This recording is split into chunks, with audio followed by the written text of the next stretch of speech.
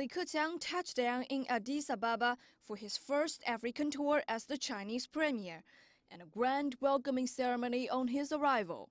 The two leaders inspected Guard of Honor at the airport.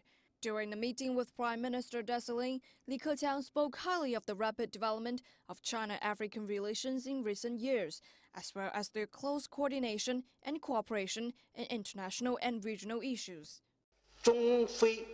China and Africa's destiny is closely linked. We supported each other during the struggle for independence, and in the course of national development, we have always treated each other as equals. Desalegn said the Chinese premier's visit will help further strengthen relations between the two countries.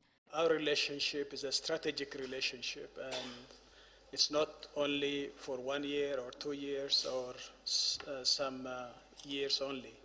It is a strategic relationship. It is growing from time to time, strengthening uh, from day to day. And uh, we want to nurture and expand this relationship between our, our two countries.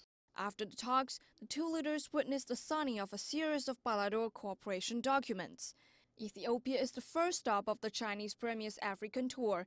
He will also visit Nigeria, Angola, and Kenya in the following week. 接白 CCTV。